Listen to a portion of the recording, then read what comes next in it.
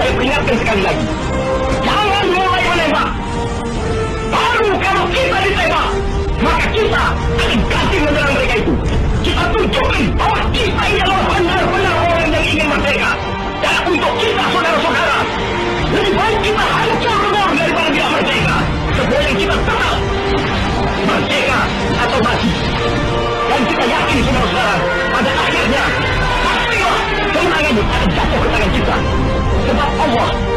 berada di pihak yang benar. Percayalah, saudara, atau mati.